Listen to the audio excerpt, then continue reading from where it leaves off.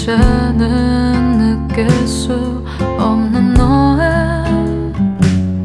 사랑이 이제야 그리워지네.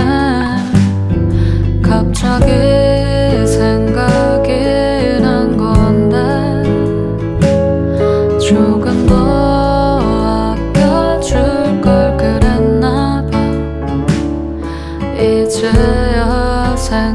없는 너의 모습